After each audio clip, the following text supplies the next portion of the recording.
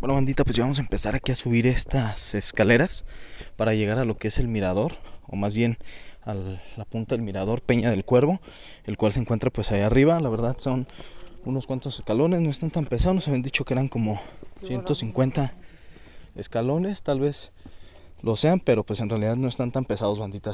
Así que ahorita que vamos ahí arriba, continuamos. ¿Qué tal, bandita? Pues ya nos encontramos aquí en el mirador Peña del Cuervo. Vean en verdad qué hermosa vista aquí al fondo. La neta valió la pena todos y cada uno de los escalones que subimos. Les había dicho que eran como 150 que no se veían. Bueno, es que había un descanso y después venían los demás. Así que pues bueno, ya estamos aquí, banda. Este vienen ya este los costos, los tips, todo lo que vivimos en este en este pequeño trayecto. Los costos o el costo para llegar acá o para subir acá es de 40 pesos por persona ¿sale? Hay que dejar en la entrada su vehículo, si traen un vehículo sedán, si traen algún vehículo este, un poco bajo, pues lo pueden dejar ustedes ahí a la entrada. Y de ahí para acá, a lo que son las escaleras, es un aproximado de 20 a 30 minutos caminando. Esto dependiendo, pues bueno, del ritmo con el que ustedes caminen y que además también durante el camino hay algunos este, lugares para tomarse unas fotos muy muy chidas. Así que pues bueno, este, esto es lo que hay que hacer. Ahora, de Mineral el Chico para acá sí hay forma de llegar. Lo que pasa que nosotros tuvimos por ahí una mala experiencia con unos policías, así que pues hay tache espantoso para la policía de Mineral el Chico. No quiero decir que todos lo sean, a lo mejor hay alguno que sí se preocupa por el turista, pero pues estos, estos nos dijeron que no había manera de subir para acá en carro, que tenemos que de la de a fuerza rentar un racer.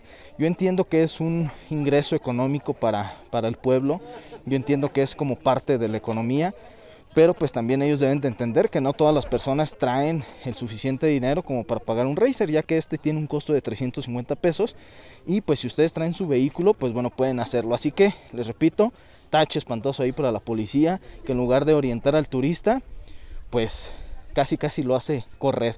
Así que pues bueno, eso es bandita, este, ustedes al llegar aquí, si ustedes traen alguna camioneta, como les repito, alta, pueden ingresar hasta lo que es este eh, la base de, de, aquí del mirador, donde empiezan los escalones, ahí dejan su vehículo. Si vienen en moto, también pueden ingresar con la motocicleta. De hecho, este pues es lo más chido. este, si traen también ustedes bicicletas o algo que les guste esta onda, pues también pueden este, rodar hasta acá en su, en su bicicleta. Aunque también este, vale la pena mucho el caminar, vale la pena mucho el caminar, es un paisaje muy padre, este, no, no, este, no es cansado a pesar de que es un, un buen tramo, no es cansado, porque pues les repito, las, la, las vistas son muy, son muy bonitas, entonces, este, pues vale la pena banda, ¿sale? Ustedes también pueden traer sus, sus mascotas, por aquí este ya vimos algunas personas que traían sus mascotas, así que pues bueno, eh, ahora sí que ya ustedes cuando lleguen acá banda pues se van a divertir mucho. Nosotros vamos a continuar con este recorrido, nos faltan algunos puntos más de, de esta visita por acá al estado de Hidalgo, entonces este pues bueno, también aquí tenemos a, a, nuestra coordinadora, nos decían ahí, la coordinadora del viaje, la DOC. ahí está, sale, que es quien nos ha estado diciendo ahorita acerca de, de, estos puntos. Este, nos vinimos, les repito, nos vinimos en un sprinter.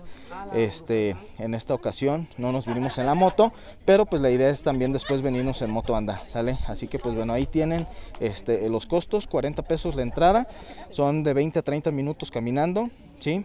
Y de Mineral El Chico para acá si hay acceso, si hay acceso, este, nosotros les vamos a dejar en la descripción del video la ubicación para que ustedes sepan.